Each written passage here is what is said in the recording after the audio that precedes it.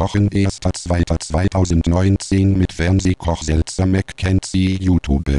Rezept herstellen und goldbraun ausbacken. Warmstellen. Zweiter Schritt, die Haselnüsse ohne Für in der Bratpfanne rösten, zur Seite stellen und auskühlen lassen. Eier trennen, Schokolade erwärmen, Eiweiß und Salz zusammen steif schlagen, Zucker und Vanillezugs beigeben, kurz weiterschlagen. Zitronenschale, Schokolade und Haselnüsse sorgfältig beigeben und die geschlagene Sahne darunter ziehen. Die noch warmen Crepe